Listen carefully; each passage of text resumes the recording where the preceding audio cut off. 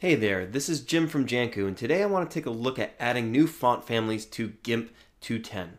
So I am on an Ubuntu Linux computer version 18, and the way we do this might be a little bit different on a different system, but let me walk you through how you would do it on an Ubuntu system. So let me first demonstrate some of the fonts that we already have in our system. So I just added a new canvas here, and if I click the text tool here, you can see that there's these font families on the left hand side. So if I were to type this is text, you can actually go through here and you can select different font families and change what the text looks like.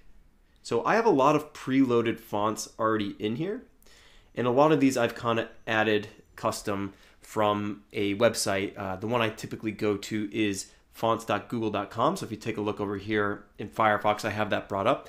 And you can browse different fonts and you can take a look through and find one that looks good to you and you can add it to your system.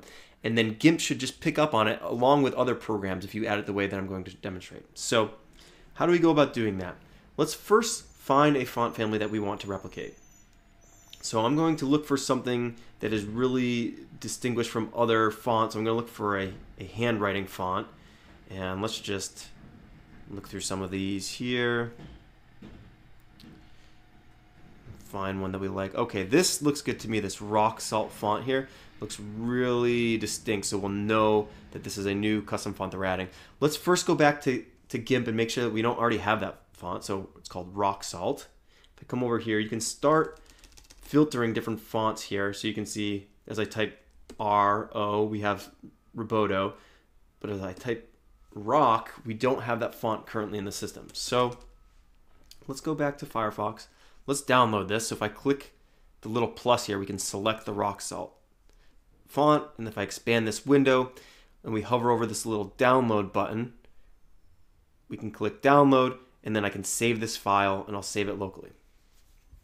Okay, so let me go to my files and take a look at that real quick. Shoot this over. I'm going to go to my downloads we can see we have this rock salt zip file here. If I double click on this, we can extract the files from it. So I'm going to click extract and say extract to location. Then I'm just going to create a new folder here to, to contain these, these files. So we have both the TTF and the text in there. So I'm going to make a new folder called rock underscore salt. And I'm just going to drag these into that folder and I'm going to get rid of the initial zip that I have there and then we can close out of this extraction window too.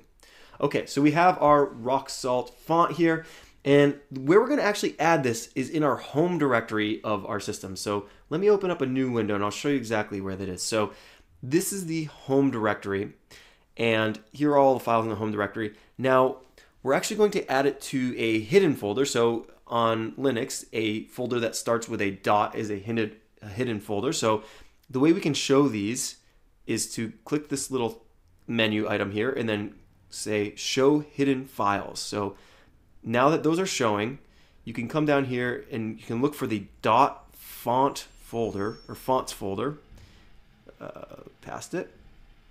So right here, and you see that it has a little lock icon to it. So if we were to go in here, we're unfortunately not going to be able to simply drag and drop this folder in there because it's locked. So if I try it, you see that nothing really happens when we do that. So we have to have a new way to go about doing this.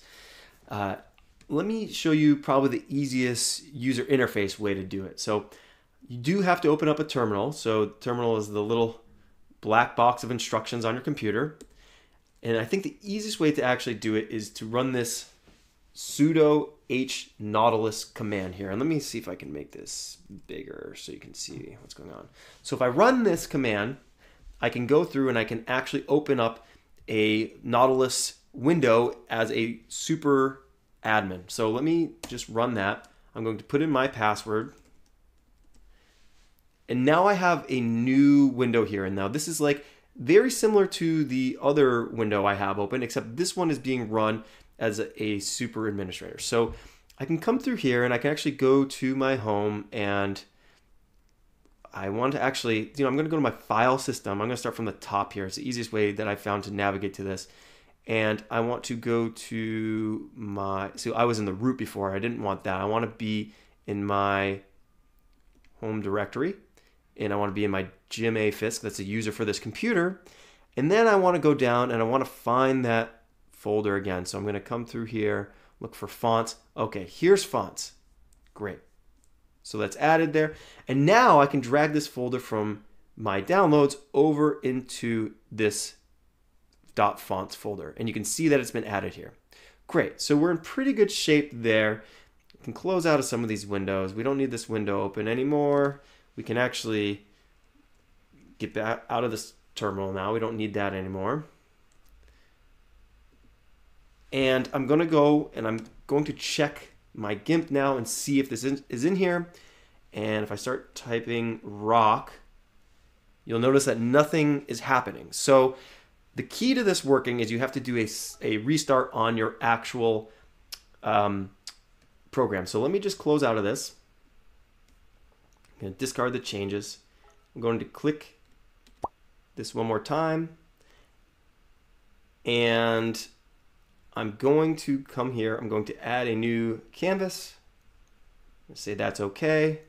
And I'm going to look for the rock salt A. And that's coming through now. And if I click it, I type, this is rock salt. Awesome. That seems to be working now. So that's how you add a custom font in GIMP. Uh, stay tuned for new tutorials on GIMP coming out over the next few weeks. And thanks for watching.